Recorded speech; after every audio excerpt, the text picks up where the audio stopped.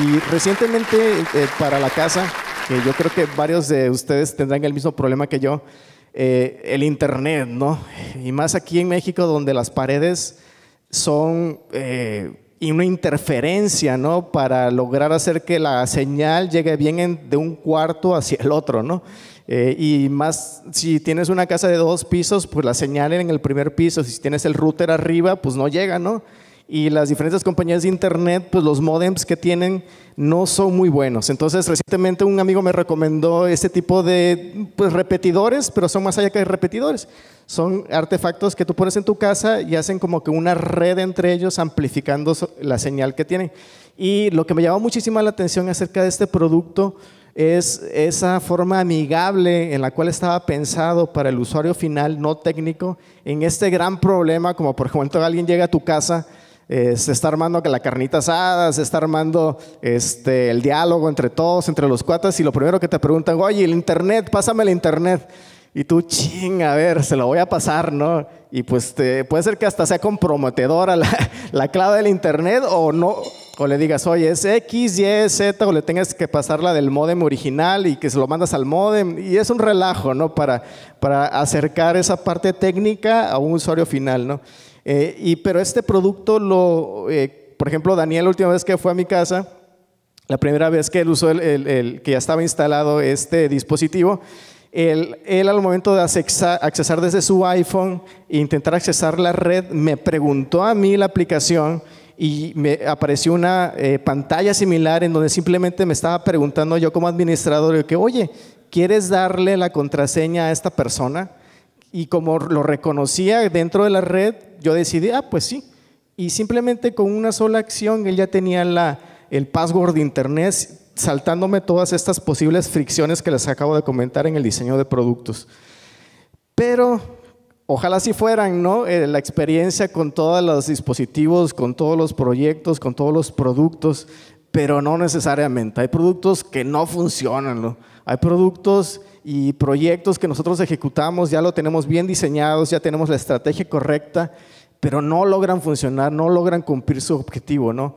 Y dentro de esta parte siempre observadora, para mí es como un laboratorio cada vez que subo un elevador. Siempre, no sé si a ustedes les ha pasado, subes un elevador y no sabes qué picarle, ¿no? Vienen tantas instrucciones a veces de las cuales no sabes a veces interpretar de una mejor manera, como la que ven en pantalla, en donde no sabes si la flechita te está diciendo acerca del funcionamiento del botón que tienen al lado o simplemente te está indicando hacia cuál flecha, hacia qué botón se refiere, si el que está abajo o el, que está al lado. En fin, pueden ser algo tan simple como debería de ser para arriba o para abajo, resultan una serie de instrucciones con una falta de sentido común para las personas a las cuales está siendo diseñada. ¿no? Otro caso que podamos ver que no necesito explicarlo mucho, imagínense, no, no, quiero yo dejarles imágenes mentales, pero imagínense el esfuerzo que requeriría utilizar los dispositivos que ven en pantalla, ¿no? Algo hace falta, ¿no? ¿Qué elemento, qué ingrediente hace falta, ¿no? Y de este esta situación que van a ver a continuación en pantalla, eh, para mí representa lo crucial que es algo tan sencillo como el diseño de una tarjeta. Vamos a recordarla.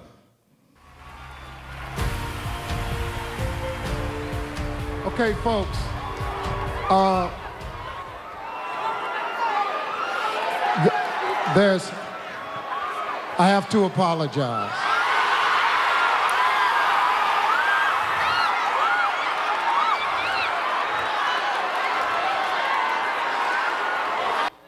La, expresión que él hace representa todo, ¿no es cierto? Pero ¿qué sucedió? El pobre no tenía la culpa. Vamos a ver la, la, tarjeta que a continuación leyó. Yo creo que a cualquiera de nosotros en las situaciones similares nos hubiera pasado eso y nos hubiera pasado mal. El que leyó, pues el número uno y Colombia, ¿no?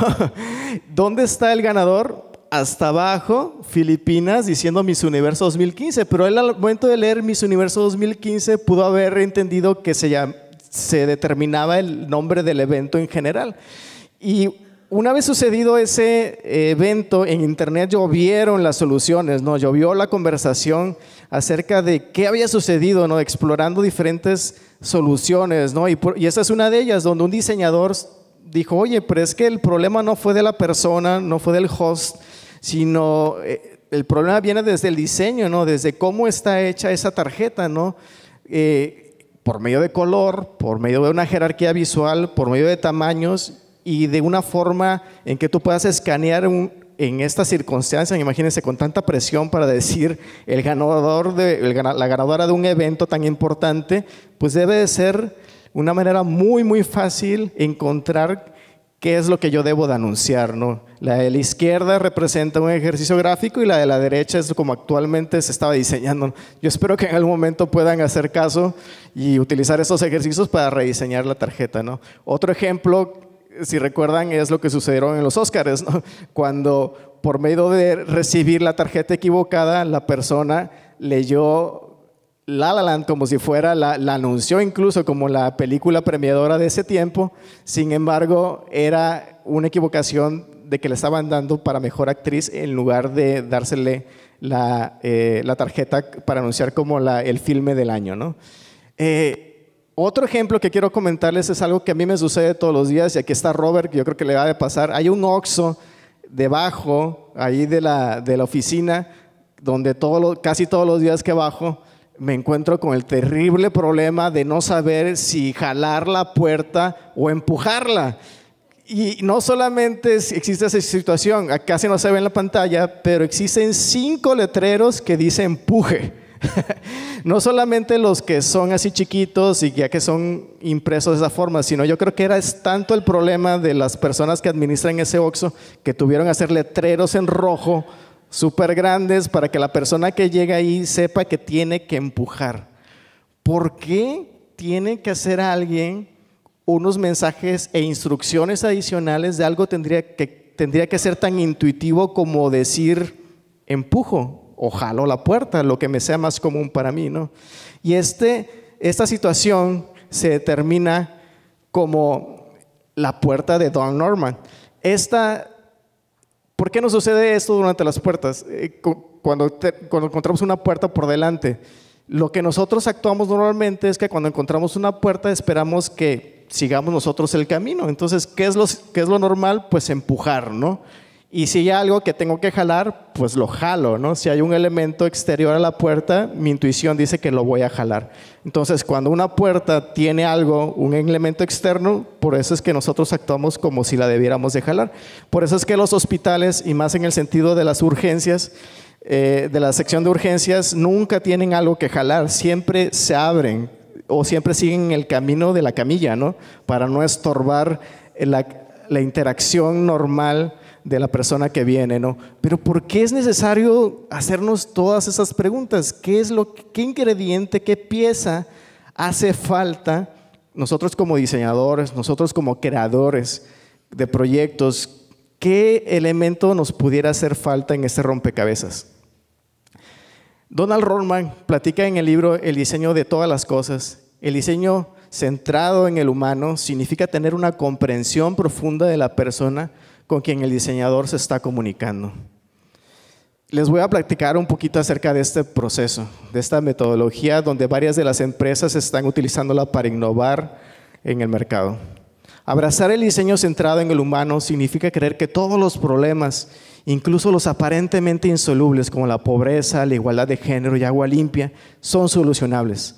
Además significa creer que todas las personas que enfrentan esos problemas todos los días son quienes tienen la clave de su respuesta. Para mí, como alguien que está eh, todos los días tratando de generar ideas, es clave reconocer eso y tener la humildad para hacerlo. Quiero yo presentarles en pantalla un video de un minuto acerca de cómo en Perú una de las escuelas está tratando de hacer un proyecto de innovación social utilizando esta metodología.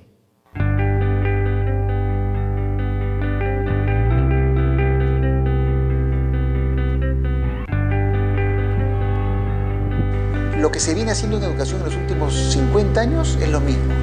Tenemos que crear una dinámica en el país que transforme la educación. El objetivo era diseñar un modelo educativo que sea de muy alta calidad, como en los mejores colegios del mundo, que los padres de familia de clase media emergente puedan pagar. We followed a human-centered design process. So that began with being out in the field and really connecting with students and teachers and parents, looking at education globally to understand what was innovative, but also looking to other sectors to really gain inspiration from analogous settings. Muy bien.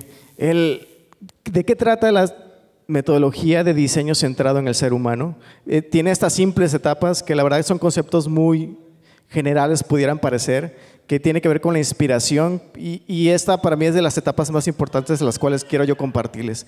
En este reconocimiento de observar a las personas a las cuales realmente estamos diseñando un proyecto de creativo, diseñando un proyecto de evangelismo moderno. La ideación donde nos atrevemos a propiciar el error por medio de diferentes ideas. La implementación en donde ponemos o llevamos a cabo un prototipo que siempre va a estar en beta. Son elementos muy simples y, tú podrás decir, oye, ¿qué tiene que ver eso conmigo? Pues bueno, alguien ya pensó, alguien ya tiene a la disponibilidad de una forma gratuita diferentes métodos para conocer más a las audiencias a las cuales vamos. En ideo.org existe una serie de descargables donde tú puedes accesar a diferentes métodos y técnicas para conocer más a, las personas a las cuales tú estás diseñando un proyecto o emprendiendo una idea. ¿Qué más nos falta? Quiero platicarles el día de hoy.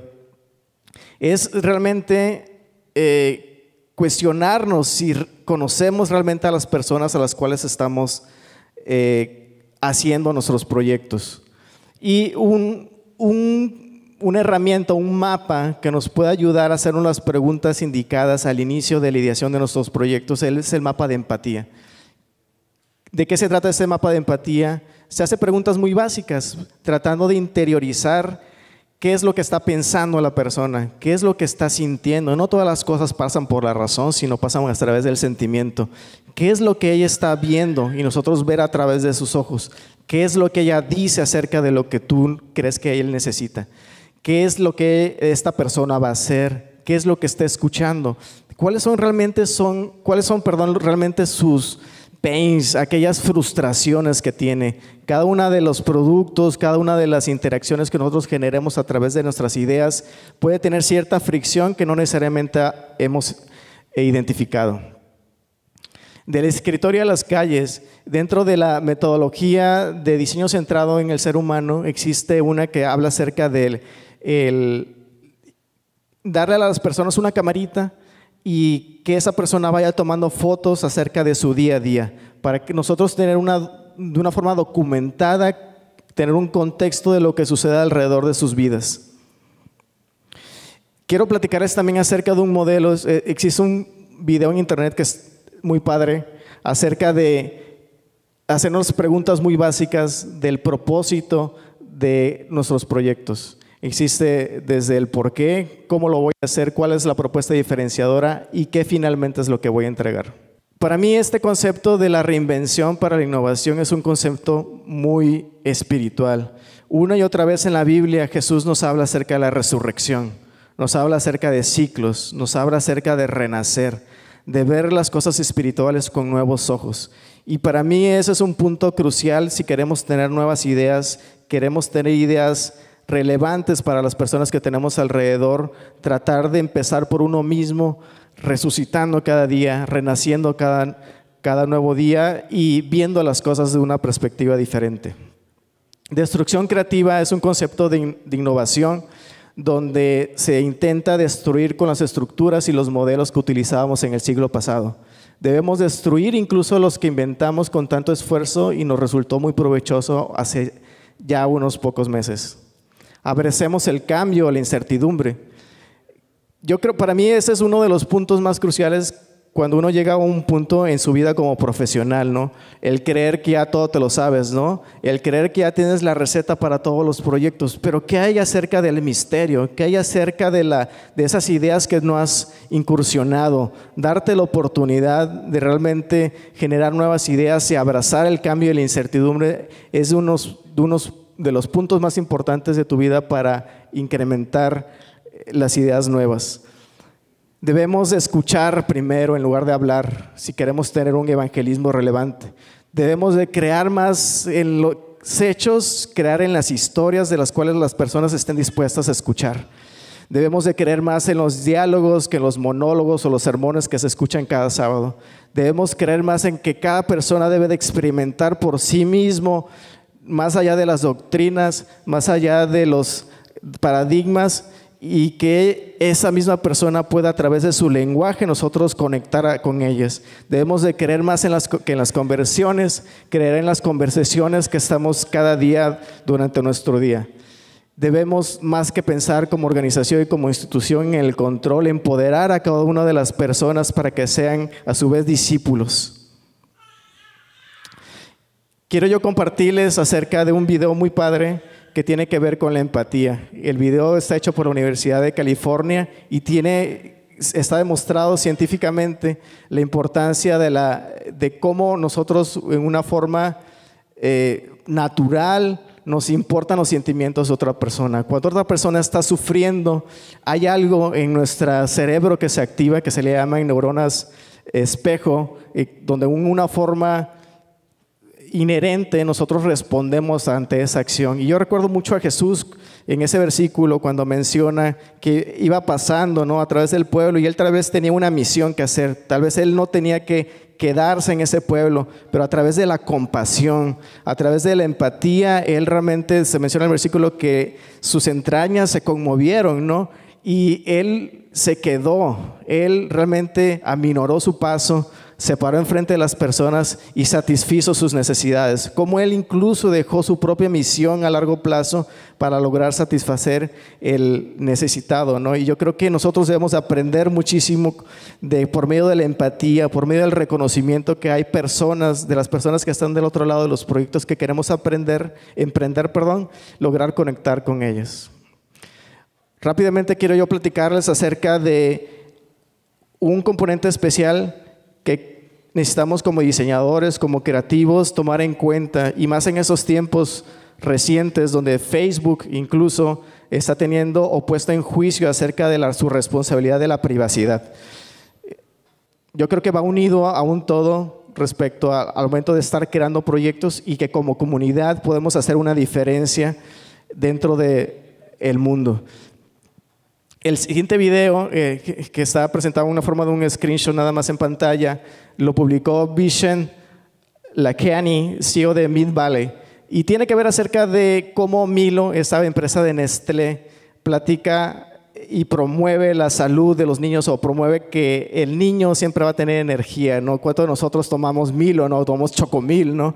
Eh, cuando éramos chicos, ¿no? Y era lo más saludable, tal vez, con la información que tenían nuestros padres en su momento acerca de lo que era más saludable para iniciar nuestro día.